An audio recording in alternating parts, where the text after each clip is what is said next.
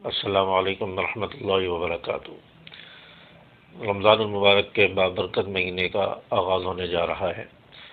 और रमज़ान मुबारक का बाबरकत महीना ऐसा अजमत वाला मुक़दस और मतहर महीना है, जिसमें नेकियों के अमल को, सवाब को बढ़ा दिया जाता है।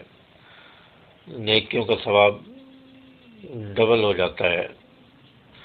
एक नफिल पढ़ने पर फ़र्ज़ नमाज़ का सवाब मिलता है।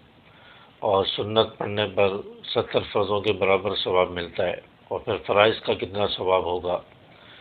इतना बढ़ा दिया जाता है और एक नेकी पर सात सौ गुना बढ़ा दिए जाते हैं। जितना अखलास और तकबा बढ़ता चला जाता है, उतना ज़्यादा नेकियों का वज़न बढ़ता चला जाता है। और रमज़ान मुबारक का बाबरकत महीना, इसमें जन्नत के आठों दरवाज़े खोल दिए जाते हैं और जहन्नम के सारे दरवाज़े बंद कर दिए जाते हैं। और इसमें लोगों की बहुत बड़ी तादाद में जहन्नम से खलासी होती है। जहन्नम से लोगों को आज़ाद किया जाता है। रिवायात में आता है कि दस लाख लोगों को हर रोज़ जहन्नम से अल्लाह ताला आज़ाद फरमाते हैं। और साल महीने का जो आखिरी दिन होता है, यानी तीस रमज़ान को पूरे महीने के लोगों के बराबर लोगों को जहन्नम से आज़ाद किया जाता है। तो ऐसा मुक़दस मतहर महीना है। इसमें रोज़ा रखने पर इतना ज़्यादा अजर सवाब है कि अल्लाह ताला फरमाते हैं कि रोज़ा मेरे लिए और मैं रोज़े की जगह हूँ। अल्लाह ताला अपने अपने हाथों से ख़ुद बनफ्स नफसीस अपनी शान के मुताबिक अल्लाह ताला रोज़ेदार को बदला अता फरमाएँगे, जजा अता फरमाएँगे।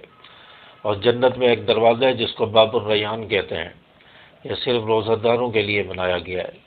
इससे रोज़ादारों को जन्नत में दाखिल किया जाएगा और क़्यामत के दिन कहा जाएगा कि रोज़ेदार खड़े हो जाएँ, जो अल्लाह की रज़ा के लिए भूखे प्यासे रहते थे, रोज़ा रखते थे, सुबह से शाम तक खाने पीने से रुके रहते थे, गुनाहों से, बुराइयों से रुके रहते थे, वो खड़े हो जाए। तो तमाम रोज़ादार खड़े हो जाएँगे।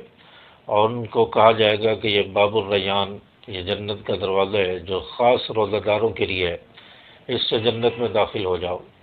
तो रोज़ादार खुशी, खुश हो रहे होंगे, बग़ैर हिसाब किताब के उनको जन्नत में दाखिल कर दिया जाएगा।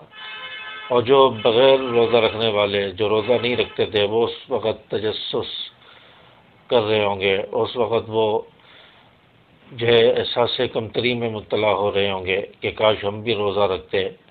काश हम भी रोज़ेदारों में से होते हमें भी इस दरवाज़े से बग़ैर हिसाब किताब के जन्नत में दाखिल कर दिया जाता। तो रोज़ेदारों को ये इनाम अल्लाह तबारक व ताली फरमाते हैं। रोज़े की वजह से मुँह के अंदर से जो बू आती है, मैदे के बुखारात होते हैं, उसकी वजह से स्मेल पैदा हो जाती है। ये अल्लाह तबारक व ताली को मुश्क व अंबर से ज़्यादा महबूब है। अल्लाह ताला को ये स्मेल इतनी पसंद है तो रोज़ादार का रोज़ा कितना पसंद होगा? तो इसलिए अपने रमज़ान मुबारक को कीमती बनाएँ। रमज़ान मुबारक का शेड्यूल बनाएँ और उसमें हमने क्या क्या काम करने हैं, कितनी तिलावत करनी है, कितने कुरान मजीद मुकम्मल करने हैं, कितने तहजद की नमाज़ पढ़नी है, किस वक़्त उठना है क्या क्या नवाफिल पढ़ने हैं, तरावी का कितना तरावी का अहतमाम करना है और इसी तरह तस्बीहात, ज़िक्र असकार कितने करने हैं। ये सारी तरतीब और अभी से बना लें, ताकि हम रमज़ान में हमें मुश्किल ना हो, उस तरतीब पर हम चलना शुरू कर दें तो इन उससे हमें बहुत ज़्यादा फ़ायदा होगा और बहुत ज़्यादा जो सवाब हासिल करने का मौका मिलेगा। और नमाज़ों की पाबंदी करें, तकबीर उला के साथ तमाम नमाज़ें पढ़ने की पाबंदी करें, कोशिश करें। और इसके अलावा मसाजिद के अंदर जो बयान होते हैं, मसाइल बताए जाते हैं, उनमें शामिल हों। ताकि वहाँ से हमें नई चीज़ सुनने को मिले, मसाइल सुनने को मिले, हमारे इल्म में इजाफ़ा हो, हमारे मालूम में इजाफ़ा हो।